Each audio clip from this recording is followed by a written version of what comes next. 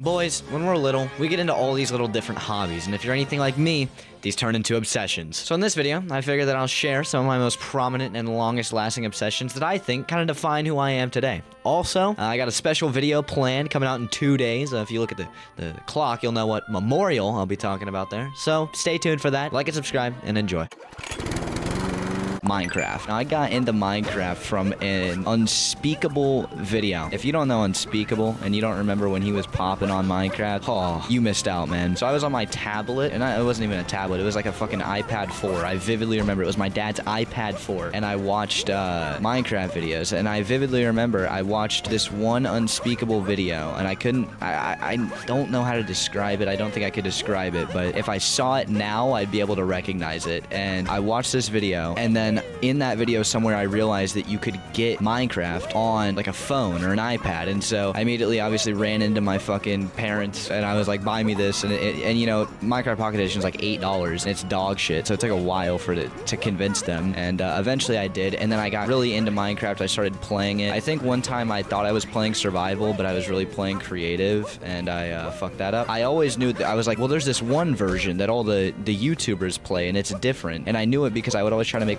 redstone doors, and the way that Redstone works on Pocket Edition Minecraft is different than Java. And so I was always like, well, this isn't the same version. And so I got an Xbox one year. It was Christmas 2017, and I said I want an Xbox and Minecraft. And they got me every version of Minecraft. They got me Minecraft Bedrock Edition, Minecraft Story Mode, and Minecraft 360 Edition. And not 360, it was like Xbox One Edition, but it was basically just 360 Edition upgraded. And I eventually just started playing the shit out of Bedrock Edition, and probably have a couple thousand hours in that. And I always kind of knew it was ghetto and shitty to play Minecraft on a controller. After about a couple more years of playing that, I eventually got a computer for 2019 Christmas, and literally the first thing that I got on it was Minecraft Java Edition, because it was the first time I could finally play it. After that, I put probably a couple more thousand hours into Minecraft, and I mean, I still play it consistently. So I guess that childhood obsession never really went away. It's not as insane as it used to be. I'm not as into it as I used to be. During the Minecraft phase, there was also another phase. There was the Five Nights at Freddy's phase, and I can tell you exactly how I got into this one. So I was watching like Dan TDM videos on my YouTube TV. Eventually, I like lost my remote because I so I couldn't switch the channel. And a game theory, a game theory FNAF video came on. Might be the most iconic thing the ever, internet's ever created, and it was just some random part in the timeline. I didn't really understand what was going on, but I was like half listening to it, half playing with Legos, and I was like, well, this is fucking sick. And started to watch some game theory videos videos, just all the game theory FNAF videos. And I started to watch more FNAF shit. And then that's whenever FNAF like really fucking blew up after that. And like my school and my, this was first grade. I remember one year for my birthday, I got like a $30 Visa gift card and I downloaded all the FNAF games on my fucking gay ass tablet. The thing was about the FNAF obsession was that I would like watch videos on them and I knew everything about them. I knew all the characters, but I was always like too scared to play the game. So I always knew everything about them. I always watched videos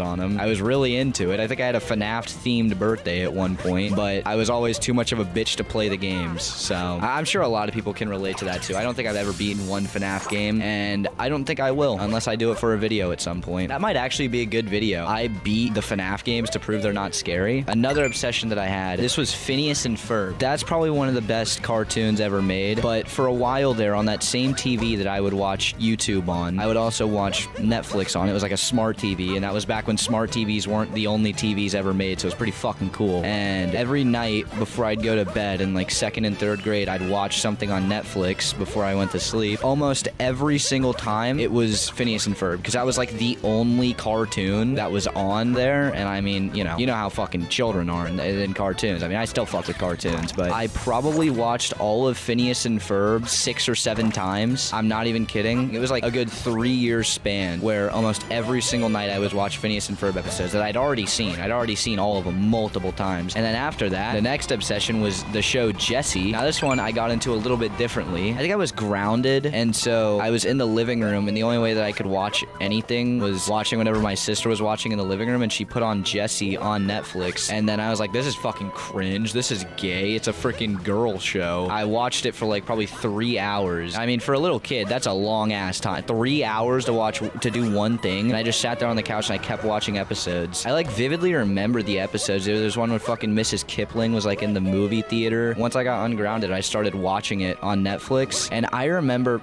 nice. There was some Jessie episodes that would come on and I could recite them. I don't think I could do that now, but I remember there was one where like Luke gets pied in the face for some reason. I literally would be like playing with Legos and I could recite the entire fucking episode without even watching it. Because the thing is too is whenever I was a little kid, I would always have shows on in the background. I didn't like silence in my room. And I didn't have like a computer or anything. Like all the stuff that I would listen to or play or watch would be on speakers. And so I would always want to have something on. And so I'd always put on Jessie or Phineas and Ferb. There was, it was literally the only two, two shows I watched. After the Minecraft obsession, what actually kind of ended the Minecraft obsession for a while, and I bet that this is the case for a lot of people, especially my age, was whenever Fortnite came out. And I, I, there's actually a pretty interesting story with me and Fortnite. Fortnite started popping whenever I was in second grade, which is just insane to say because I'm in my I'm in the first year of high school now. I had seen videos on Fortnite, and I just heard like everybody was getting addicted to it. Everybody really liked it, and I kind of wanted to. I wanted to be good at Fortnite because it was like popular and it was cool and it, and it looked cool and I liked it and shit. But I was in second grade and like if you played games when you were that young, you don't really fully understand the concept of like gaming yet. You're just kind of playing with the screen thingy that moves around and does cool shit. And so I'd play Fortnite and I'd play solos and I still can't play solos. And it took me a long time to like get addicted to Fortnite. Like I actually like vividly remember like wanting to get addicted to it, like thinking about like wanting to like the game, wanting to not want to put it down. And it took until I started to play duos with one of my like fucking second grade friends on Xbox to start getting addicted to that shit. That's also what started like the online gaming phase. Like I didn't even have a headset before I started playing Fortnite. I got the, this $15 Turtle Beach headset, iconic as fuck. I probably went through no joke 10 of those and they just they're absolutely dog shit and after a while they just stopped working. Started grinding that and I played all the way up until season 6. The thing is also when you're that young too, you don't really have a concept of like volume. Like I'm filming this at 11:30 at night on a Sunday night and I have school tomorrow. If my parents walk in, they're gonna yell at me. So I'm kind of keeping it down right now. I didn't really have a concept of that whenever I was playing Fortnite, whenever I was eight years old with the headset on for the first time. And so I would be screaming at the top of my fucking lungs. And my parents hated that shit because I have thin walls too. I remember one time in third grade, I did something. My punishment for whatever I did in third grade was I got banned from Fortnite. My parents didn't let me play Fortnite. And then from about the middle of season six to chapter two, season four. Man, I sound like such a Fortnite nerd right now. If, if you don't play Fortnite, you have no idea what I'm talking about. Basically, I got grounded. I couldn't play Fortnite anymore. And because of that, I missed like the best, most iconic and fun seasons of Fortnite. The biggest obsession though that I had, the longest, biggest obsession that affected me the most that I had was probably